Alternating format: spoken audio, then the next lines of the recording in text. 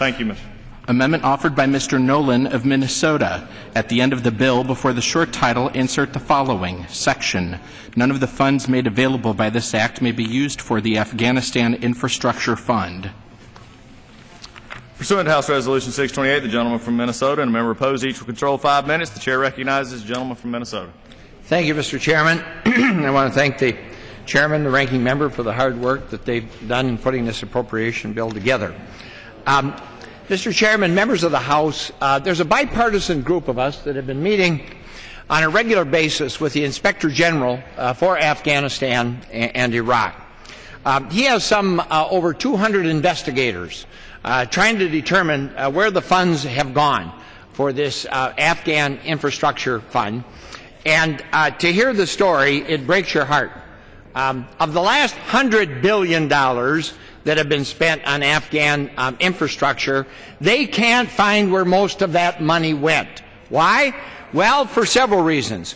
One is that uh, Afghanistan is largely a, a cash economy. Um, so if you want to do a project uh, in any of the ro- remote areas, you have to show up with a truckload full of cash. Uh, secondly, um, it's now certified as the most uh, corrupt nation in the world. Um, it's the number one narco state in the world, supplying, supplying more heroin uh, for the rest than the rest of the world uh, combined. And as the U.S. Uh, troops uh, withdraw, um, there is no way to audit uh, these funds. There's no way to inspect these funds. It's an absolute, unmitigated prescription for unparalleled fraud. And it's got to stop. And uh, today and tonight is, is the time to put an end to it. And that's why I'm offering my amendment here to stop any funds from going to this Afghan reconstruction fund. Gentlemen, would you? Please. I appreciate the uh, point that the gentleman's raising and certainly uh, would associate myself with his remarks and do believe it would be acceptable to the committee. Thank you very much.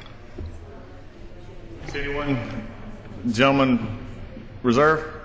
I reserve the balance of my Gentleman from time. Minnesota reserves. Anyone claiming time in opposition? Gentleman from Minnesota. Uh, Mr. Chairman, I um, yield the balance of my time. The question on the amendment offered by the gentleman from Minnesota. Those in favor say aye. Aye. Those opposed, no. Opinion of the chair, the ayes have it. The amendment is agreed to.